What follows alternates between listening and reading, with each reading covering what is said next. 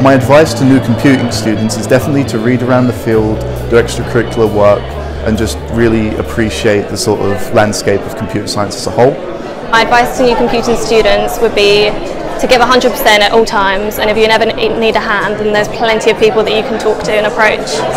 My advice is enjoy your stay here, enjoy your study, work hard and you can achieve everything. My advice to new computing students is throw yourself at the deep end and make as many friends. Um, you might find that one thing that you understand, your friend doesn't, and one thing your friend understands, you don't. Um, and getting through the degree definitely helps if you've got a network of people around you. To get involved in everything the department does, um, enjoy all the new things that you're going to learn, and um, yeah, just enjoy it as a as a course. It's a really fun course.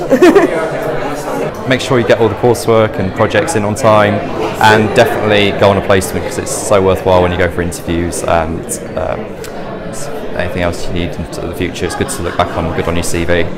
My advice would probably be uh, to just like take the year in industry and just you know get as much work experience as possible for afterwards.